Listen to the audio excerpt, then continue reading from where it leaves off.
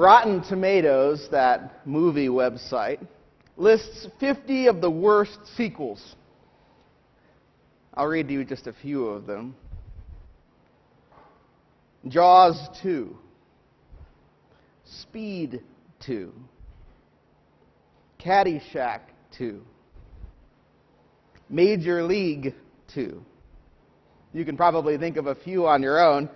But beyond not having originality in title, they also don't have originality in writing, which is part of the problem. But then there's those sequels that actually meet or surpass the success of the first movie. Back to the Future 3, Lethal Weapon 2, Return of the Jedi, Superman 2, Lord of the Rings 2. Usually, the success or failure relies on the sequel being well written and so tied to the original that it continues to develop the characters as well as the story, bringing forth new things, new dimensions to the characters, new dimensions to the story, but retaining a consistency of personality and theme. Genesis chapter 17 is a sequel. Genesis chapter 17 is a sequel. As we look at it this morning, I want you to consider that because it's a sequel of Genesis chapter 15, two weeks ago, which was our text as we continue here with the great patriarch Abraham. There's a great deal of important things in Genesis, but if you take anything beyond the creation story from Genesis, I want to encourage you take note of chapters 15 and 17 because they're all about covenant. They are the foundation of the church, the foundation of who we are as the people of God, what God has done by His grace in His people. And so I just want to look at some of the themes and personalities going from the first to the second iteration of the covenant. Some scholars talk about Genesis 17 as the ratifying of the covenant. Open up to me, with me to chapter 17 in your Bibles, or take a look at, cha- uh, at um, page 1 and 2 in your order of service, and you can see the text for today. But quickly, a little review, because it's been eight weeks since we started this series. So you might not be, you might not have fresh in your mind, at least, what's gone on so far. Eight weeks in our time, 24 years in the time of Abraham have passed since Genesis chapter 12. Since the Lord, who in Genesis chapter 12 calls himself the Lord, the I am, and makes promises to make Abram a great nation, a great blessing, blessed to be a blessing to all nations, and the land of Canaan promised for his descendants. When God comes again to Abram in Genesis 15, the word of the Lord comes to him. You remember that? The title of God in Genesis 15 is The Word of the Lord comes to Abraham, appears to Abraham. Of course, we recall that the Word of the Lord is another name for Jesus, right? God's Word. God's Word, as John tells us. And in Genesis 15, so in that first iteration of the covenant, the word of the Lord comes to Abram and says that he promises to be his shield, that he promises that his son shall be his heir, that he promises that his offspring will be like the stars of the sky if he can number them. And because of Abram's belief, God counts him righteous. It's been a long time, even since Genesis 15 that first iteration of the covenant, and even longer since Genesis 12. If you go through and calculate Abram's age, in Genesis 12, verse 17, as I've said, 24 years total have passed. And it's been 13 years, at least, since Genesis 13, or 15 rather. In that time, a lot has happened too, right? Famines, wars, threats to Abraham's prosperity, both eternal and his own lack of faith. There have been several stumbling passages, just like last week, where Father Joshua preached to you on Abram and Sarai taking matters into their own hands, right? And involving Hagar in the story. That they would bring forth a son with Sarai's maid. Last week, Father Joshua explained to us how Abram's lack of faith caused he and Sarai to take that matter into their own hands. And if we look later at today's passage, we see that 13 years have passed since Abram fathered Ishmael. All of this frames today's passage. All of these are themes being brought forward, just like a good sequel brings forward themes from the first movie. All of this is important to recall because if we read today's text in isolation, we might get the wrong idea. We might get the wrong idea that Abram's covenant with God is one of works or one of obedience. And that's not what Genesis 17 is saying at all. But look with me at verse 1 and 2 in today's reading, Genesis 17. When Abram was 99 years old, the Lord appeared to Abram and said to him, I am the Lord God, or rather, I am God Almighty, sorry. Walk before me and be blameless, that I may make my covenant between me and you and may multiply you greatly. So if you break down those two verses, what do you see? God commands Abram to walk before me and be blameless, first of all. And second of all, he says, I will make a covenant with you. Do you see how, if you take this passage in isolation, it seems to flip Genesis 15 on its head? Right? Or at least it could. You could fall into that misinterpretation that this is all about obedience and that if Abram is obedient to God, then God will covenant with him. Right? Do you see that? That's not what's being said here. St. Paul talks about this and interprets it for the church in Romans chapter 4. And this rests on, his argument rests on this idea of ratifying of a covenant. So this is Romans chapter 4, verses 7 through 9. It's not one of today's texts, but it bears repeating. St. Paul writes to the Roman church Blessed are those whose transgressions are forgiven, whose sins are covered.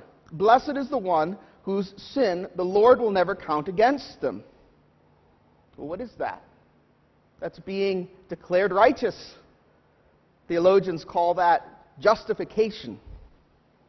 He continues in verse 9 Is this blessedness only for the circumcised or also for the uncircumcised? For we have been saying that Abraham's faith was credited to him as righteousness. Under what circumstances was it credited? What's St. Paul doing there? He's pointing us back to Genesis 15, you see, before Genesis 17. He continues was it after he was circumcised or before that he was declared righteous, that is? It was not after, but before. What St. Paul here is saying is that God instituted this covenant of faith first with Abram. And so that covenant of faith is actually superior to what's going on in Genesis 17. The Genesis 17 is a particular subset of the covenant of faith. What do I mean by that? That the master story is Genesis 15, and that Genesis 17 is a development of it, an outgrowth of it, you see. Again, this covenant of faith, St. Paul continues to talk about in Romans chapter 4, verse 11. He says, And he received circumcision, that is Abraham, as a sign, a seal of the righteousness that he had by faith while he was still uncircumcised. So then, he is the father of all who believe, but have not been circumcised, in order that righteousness might be credited to them. And he is also the father of the circumcised, who not only are circumcised, who also follow the footsteps of the faith that our father Abraham had before he was circumcised. To see what is St. Paul saying here? Again, to reiterate that the important thing is this covenant of faith. That comes first. That both the circumcised and the uncircumcised, both the Jew and the Gentile, can participate in the covenant of faith, regardless of their circumcision. Right? Because circumcision is the sign of the covenant, particularly with the Jews. Why is that important? Again, because I said that St. Paul is interpreting this Genesis passage, and we, as a historical church, do not pit one part of Scripture against the other. That's one of the basic formularies in Anglicanism. That Scripture speaks together. And therefore, if something seems to contradict, you're reading it wrong. And you've got to back up and take a look at what's going on contextually. So, this is what's going on contextually. And this is an easy one because St. Paul just lays it out for us that the covenant of circumcision is a subset of the covenant of faith.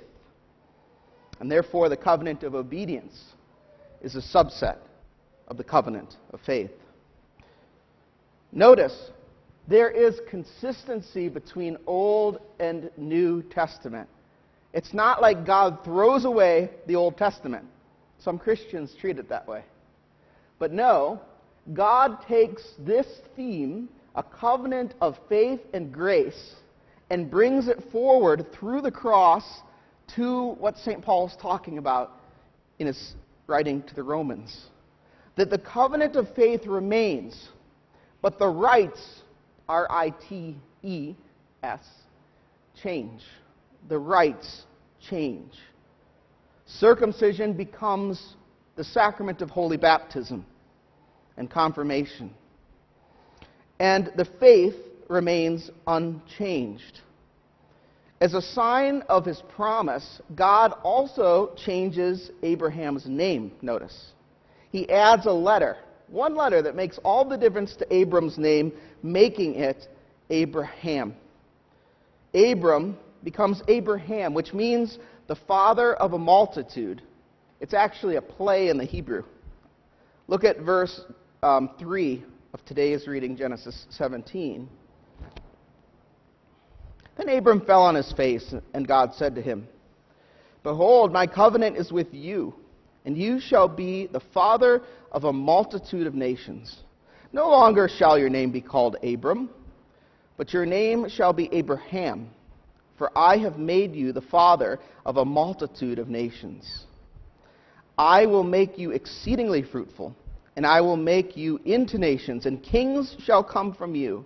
And I will establish my covenant between me and you and your offspring after you throughout their generations for an everlasting covenant, to be God to you and your offspring after you. What's he talking about here? The covenant of faith. The covenant of faith. That's the eternal covenant that persists from Old to New Testament. Amazingly, this passage in Genesis looks forward not just to Isaac, the immediate fulfillment of the covenant, but also all the way to the New Testament, to the new covenant. Jump down to verse 19. And God said, No, but Sarah, your wife, shall bear you a son, and you shall call his name Isaac. I will establish my covenant with him as an everlasting covenant for his offspring after him. In the Old Covenant, this physical circumcision, this sign done to men, is a sign of this obedience to following God, right? Again, jump back to 9 through 10. And God said to Abraham, As for you, you shall keep my covenant, you and your offspring after you throughout their generations. This is my covenant which you shall keep between me and you and your offspring after you. Every male among you shall be circumcised. You shall be circumcised in the flesh of your foreskins, and it shall be a sign of my covenant between me and you. He who is eight days old among you shall be circumcised. Every male throughout your generations, whether born in your house or bought with your money from any foreigner who is not of your offspring you see this idea that Abraham's entire household is saved, is made part of that covenant as a group. But this New Testament, in the New Testament, that obedience is found in the sacraments of holy baptism. Where just as in the Old Testament, just as a baby who's circumcised on, his, on the eighth day can be part of the covenant family of God, so in the New Testament, a baby is baptized to be part of the covenant family of God. The baby has no say in his circumcision, and he has no say in his baptism. And yet he's made and imparted into part of God's covenant family. But of course, he must continue. He must continue in that and make Christ his own, as our baptismal rite says. And so in the New Testament, this coupling of obedience is done not just with baptism, but baptism also bestows grace. So it's not just a sign or a token, but it's an effectual action of God upon that child or that adult. There's a renewing of grace that's poured into him or her. In the 1662 Catechism, which we hold to be authoritative, the question is asked what is the inward and spiritual grace of baptism? And the answer is given a death unto sin and a new birth unto righteousness. For being by nature born in sin and children of wrath, we are hereby made children of grace. This is a paraphrase of what St. Paul says in our second lesson today, Colossians chapter 2. Look with me at the beginning of that. It's on page 3. Therefore, as you received Christ Jesus the Lord, so walk in him, says St. Paul. So walk on in him. And then look down at verse 9. For in him the, the whole fullness of deity dwells bodily, that is, in Christ and you have been filled in him, who is the head of all rule and authority. In him also you were circumcised with a circumcision made without hands, by putting off the body of the flesh, by the circumcision of Christ, having been buried with him in baptism, in which you were also raised with him through faith in the powerful working of God who raised him from the dead. Do you see how St. Paul ties all that together? That obedience to the ruler of the law, that grace, that relationship to Christ.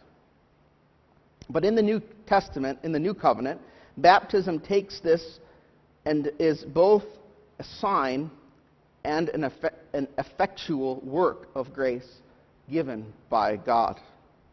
St. Ambrose of Milan, the mentor of St. Augustine, says this about it, about circumcision. He says, Therefore, the sign of circumcision remained until the truth arrived. The Lord Jesus arrived, when the Lord Jesus arrived, who says, I am the way, the truth, and the life, because he circumcised the whole person in truth, not a minor bodily member in sign. What's St. Ambrose saying? that far more than this little sign, this little piece of the truth that's cut away, right, in circumcision, so the whole person is renewed in baptism in Christ Jesus. It's not insignificant that baptism also is called christening. You ever hear that term? It's an older term, but we say we might call something a christening gown, the white dress that the baby wears. Or we might um, talk about going to a christening. Sometimes we talk about ships being christened, right? Where someone important takes the bottle of champagne and smashes it on the hull of the ship as it's launched. That's called a christening. What's a christening? It's a naming. It's a naming. And so it is that naming is attached both to circumcision and baptism. Notice that's not insignificant. And it's not insignificant to Abraham's story either, or Sarah's, as they are renamed in this passage. Abram becomes Abraham. Sarai becomes Sarah. Who names them? God Himself names them. God changes their name. And in the Old Testament culture, the change of a name also meant the change of a destiny the change of a destiny. right? Names were not just labels in the Old Testament, they actually said something about the very essence of who the person was. So, Abraham, whom we call the great patriarch, his name literally means the patriarch, the father of a multitude, right? Do you see the importance of that for the Christian also? That we are given our names at baptism, if we're baptized as babies, that christening combines the giving of the name with the effectual work of God to bring His grace. It changes our destiny, it changes our trajectory. It makes us, as the Catechism says, not children of wrath, but children of God. Children of God. It makes us not sons and daughters of this world, but sons and daughters of God Almighty. We are a new creation, set with a new trajectory. So, what does this say to the church thousands of years after Genesis 17? We can now look back after thousands of years and see the blessings God bestows on Abraham and Sarah through the covenant of grace, the covenant of faith, signed by circumcision. We can see how their trajectory has changed from a couple who's barren, who has no children, to being blessings, not just to their own family, but to nations, and to be new creations. For Abram, Abraham rather, and Sarah are saved by faith, just as you are saved by faith. The covenant remains the same. The rite has only changed.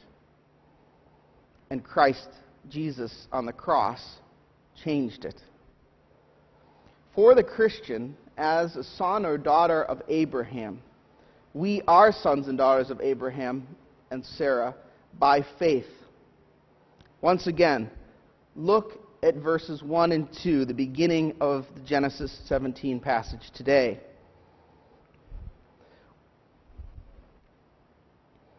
The Lord says, I am God Almighty.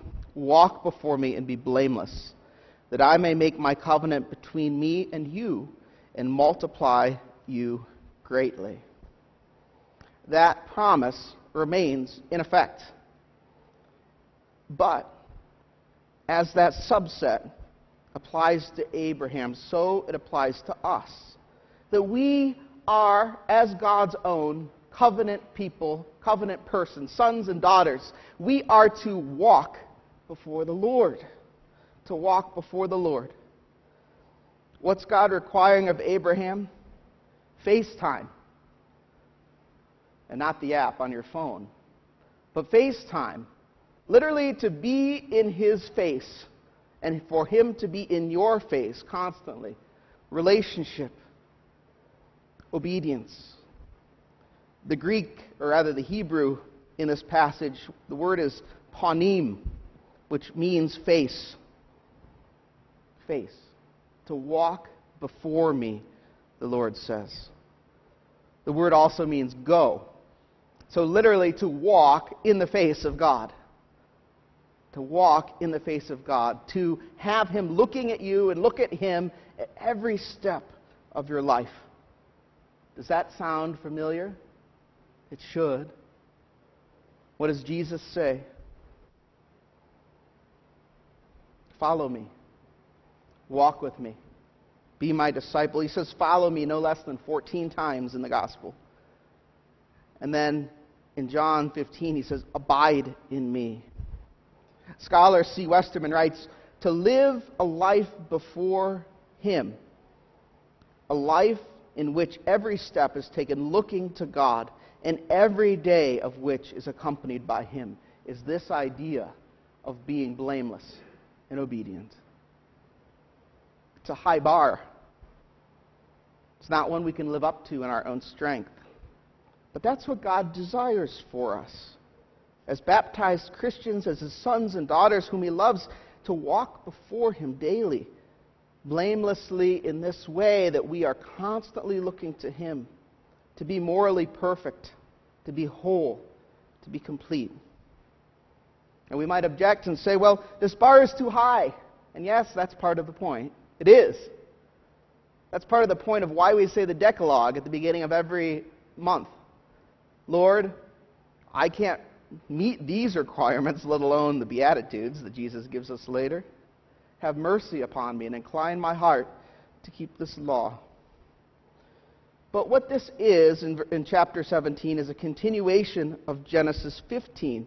That this covenant of grace remains, even despite the fact that we don't live blamelessly before the Lord, that we turn our faces away, that we look at other things, that we seek other gods. What vows we take or are taken for us in holy baptism are generally not realized the momentousness of them, that is, until confirmation. We don't realize that what we promise to do, to reject the world, the flesh, and the devil, and turn to Christ in all things, is not something that we can do on our own until we come to an age where we can realize it. But that's where the grace comes in. And that's why confirmation is a sacramental rite of grace, the finality of holy baptism. You see, even though Abraham would walk with God and do his best to be blameless, he would not be blameless. We'll see as we go through the rest of this sermon series. It's not like Abraham continually turns to the Lord and never stumbles again after this. It's not as if somehow he's made he's perfect, he's made himself perfect. That's not the point. And certainly his offspring aren't perfect. We saw that in today's psalm, right? And it's not that God ignores Abraham's future sins or the sins of his offspring, as so many people say today. But rather, Abraham was being made perfect because he was declared righteous in the covenant of faith. So, friends, there's a great deal of things that can be mined from this passage, as you've probably ascertained. I've tried to limit myself, but see the fulfillment of Genesis 15 here. See that this is a step, a particular step in the covenant of faith. And finally, there's one last key point, which sums it all together, brings it all back to the very first and second verse. Who is it that keeps the covenant? Who is it that bestows the grace? It is God Almighty. God Almighty. But as you look at that first verse where the Lord gives his title and calls himself God Almighty, and not the Lord, and not um, the God Most High, and not the Word of the Lord, you probably don't see in English something that's really important here. This is a specific title for God. Perhaps you've heard of it. In Hebrew, it's El Shaddai. El Shaddai. God Almighty, translated simply, but it means so much more. It means the God who makes the barren fertile, as he literally will make Sarah fertile with the son Isaac.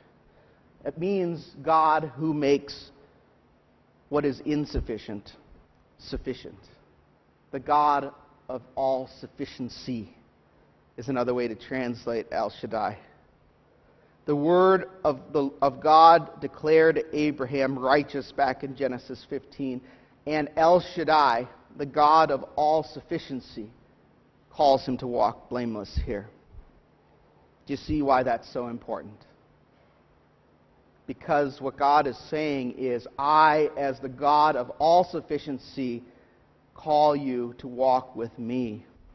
And when you stumble and when you fall, as Abraham just did in the last chapter, my sufficiency, the sufficiency of my grace, of my very self, will be enough for you.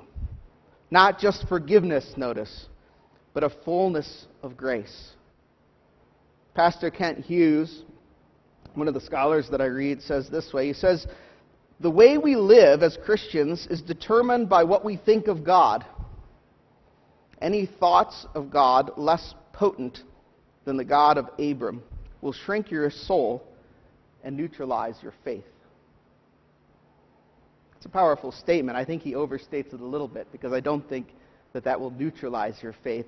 But I do think this that how we see God informs our faith. And how we see it informs how we see our relationship with Him in covenant. If you see God as all sufficient and as the person in whom your sufficiency rests, you're going to see and act in a very different way than someone who's trying to keep obedient only out of duty or only because you think you can do it yourself. Notice our opening collect today went beautifully with this. Almighty and merciful God, it is only by your grace and your faithful that your faithful people offer you true and laudable service. Only by your grace. Grant that we may run without stumbling to obtain your heavenly promises. What are we praying for? That He might give us the grace to walk face to face with Jesus every day of our life. So, friends, as we walk from this place with Christ, consider there are people out there, out those doors, who do not see God at all. Some torture themselves with perfectionism. They want to be blameless. They want to win the approval of someone or everyone. They crave the adulation of the world around them. They will end up despondent and despairing, and ultimately alone, finding themselves repulsive because they can't even live up to their own standard. Those people need to hear about God's love and covenant. They need to hear about the fullness of this text today, made simpler, of course. But they need to hear of God's loving forgiveness and grace. There are also people out there, out those doors, out these walls, they constantly seek pleasure for themselves because they don't see God or acknowledge Him. They try to fill themselves up with experiences. That's the new thing, right? Traveling everywhere, going into great debt for it. The latest food, the latest microbrew, the latest comfort for their home, the latest thing that they think will fill them up. They too will end up despondent and despairing and alone and find themselves repulsive because they'll be enslaved to those things. They too need to hear about God's loving covenant with an emphasis perhaps on obedience as well as grace, but certainly forgiveness. But what's harder is those like you and me who call themselves Christians but don't see God as El Shaddai. Those who don't even perceive him as all sufficient. Some struggle, as Christians even, to earn his favor, not realizing that it's been given to them. They try to earn a gift continually. These are folks who get stuck in works righteousness. God can never be pleased, and therefore they can never rest in him. But then there's also those who presume on his grace, what people call cheap faith or cheap grace, right? Who partake of him, who assure themselves in the covenant of faith, but who have no intention on obeying him, who have no intention on walking before him. We all perhaps know people or have been that person at one point or other in our life we need to hear about the covenant of faith and how God calls us to obedience. But more importantly, we need to perceive that He is the all sufficient God whom we can trust in and with all things. Most of us fall one way or the other when it comes down to it. I've noticed in my pastoral counseling, most people are too hard on themselves and don't see the grace of God, or they're too easy on themselves and don't see his call to walk before him. Again, we rest in God's self in God's all sufficiency. It's enough for you. It's enough for me. So, like Abraham, let us stop and see God as El Shaddai, as the Almighty, all sufficient one, whose grace is enough for us. And remember, friends, that in Christ there is a sequel to this life. And that sequel is vastly superior to the original. In the name of the Father, the Son, and the Holy Spirit. Amen.